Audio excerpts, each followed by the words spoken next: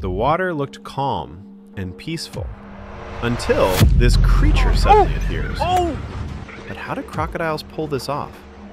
Every animal is extremely alert near water, so how can crocodiles hide underwater without coming up to breathe?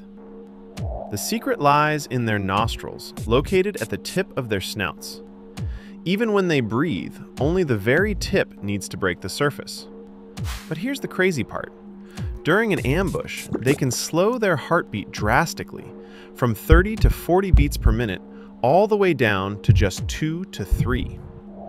As every muscle locked in place, their body barely needs oxygen, except for the brain and heart. Typically, they can wait 15 to 30 minutes underwater, but in extreme cases, they can hold their breath for up to two hours. No ripples, no bubbles, no warning whatsoever until the most powerful jaws on the earth grab you by the neck.